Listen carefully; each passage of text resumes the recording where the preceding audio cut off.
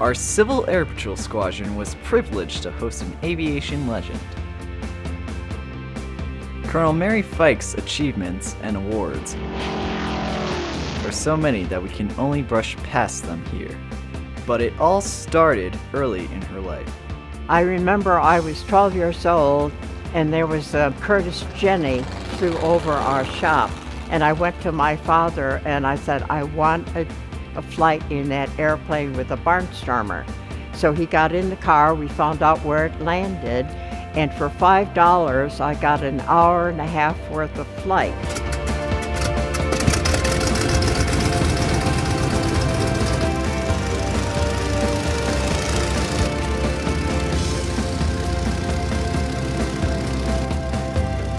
And when I came home and I told my mother about it, she fainted on the kitchen floor.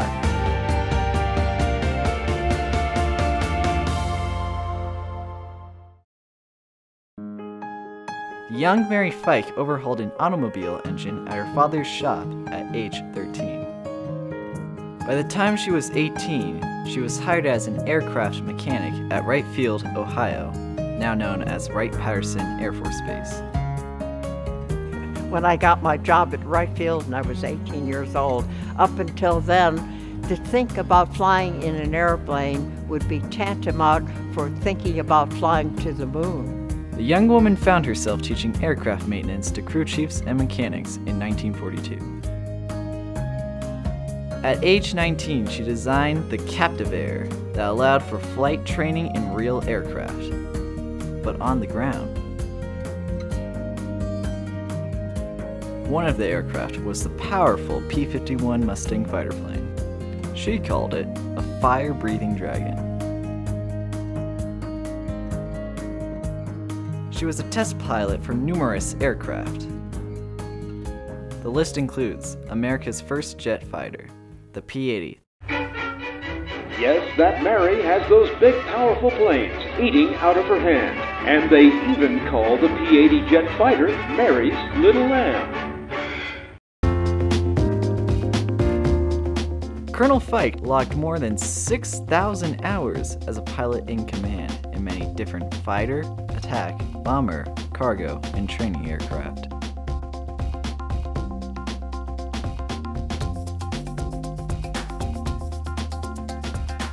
After World War II ended, she went to work restoring aircraft at the Smithsonian's National Air and Space Museum in Washington, D.C.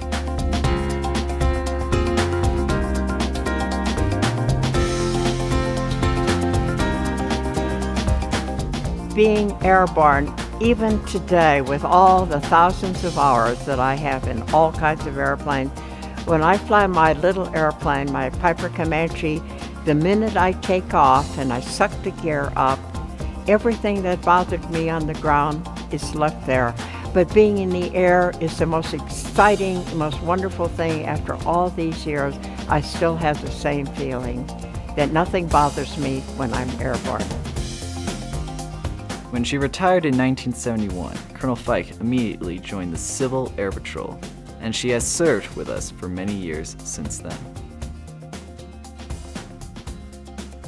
A number of cadets in our squadron have received the Special Mary Feik Achievement, which CAP named in honor of her amazing career and service.